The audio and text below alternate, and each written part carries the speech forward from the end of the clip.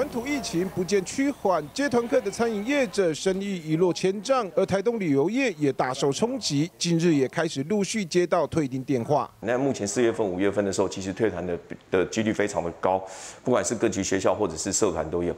现在我们连七月份跟八月份的团都也是陆陆续续，基于安全的考量，已经都有在退成的，都有在退团的情况。旅行社表示，目前退团的人数正在快速增加。若民众确定居家隔离而无法参加行程，旅行社就必须全额退款。如果旅客因为疫情考量而退团，也会导致开团人数不足。而游览车业者为了避免违约，也必须亏钱配合出车。这个疫情都一直在扩散嘛，退团的时候他们也不好交代了，嗯嗯，因为他们都是要预约性订车，之前约定的那些车趟啊什么的都被退团了，嗯啊，所以说。